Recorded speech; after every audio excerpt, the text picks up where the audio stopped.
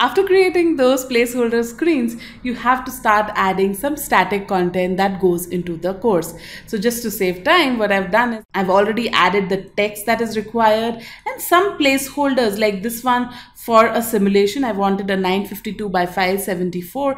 I easily added this placeholder by clicking this rectangle and creating this placeholder. The placeholder is indicated with a cross sign where you can fill in an object in an InDesign document. So I'll just delete this. So I've created this using the exact resolution in which I have, I'll be recording the simulation. So I've done this and then for the rest of the screens, I have done the same. For this also, I've added a static image that I wanted for the screen, a title and some text that goes with it for the Captivate interaction, I've added an exact size of the placeholder image. Here for video also, we can quickly add a placeholder image. So I will just do that right now and this is a placeholder. So when we add a video, it will be of this exact size that will be added.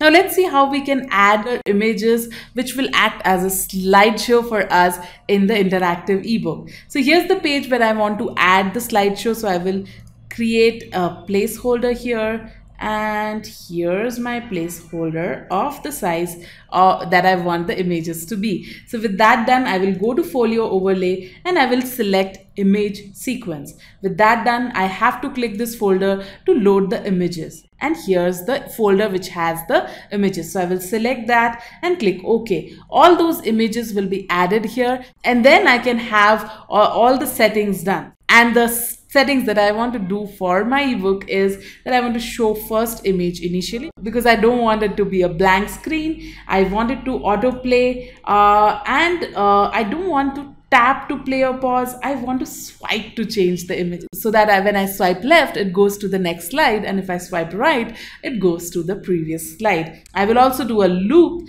and with all those uh, options selected, we are good to go. So with that, let's go to the next step.